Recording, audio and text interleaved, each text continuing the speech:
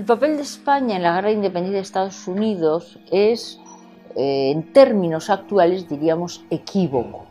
No tan equívoco si lo contemplamos a la luz de la situación en el siglo XVIII. ¿Por qué?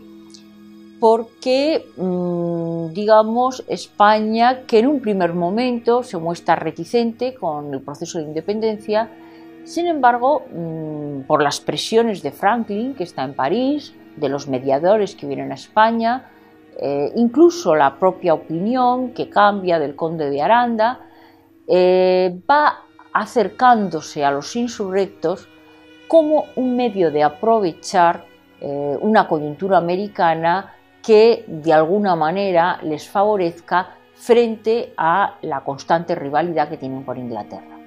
Es decir, eh, ni Florida Blanca ni Aranda son ciegos ante las posibles consecuencias de la emancipación de las colonias inglesas, pero también se dan cuenta que el debilitamiento del poder inglés en América del Norte favorece la tranquilidad de los territorios españoles.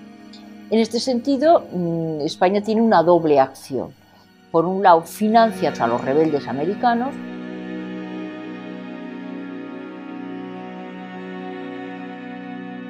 pone en marcha alguna incursión que protagoniza Galvez desde los territorios del sur, limítrofes, los territorios cercanos al Mississippi, y también da entrada eh, como tema de opinión, porque la prensa española recoge, a este acontecimiento que, sin lugar a dudas, eh, conmueve toda la opinión pública europea.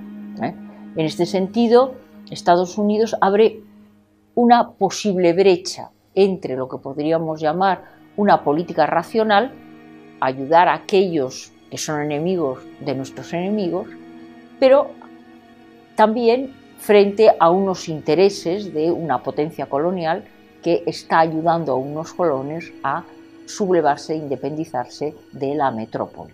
¿eh? Este será uno de los grandes equívocos del tema.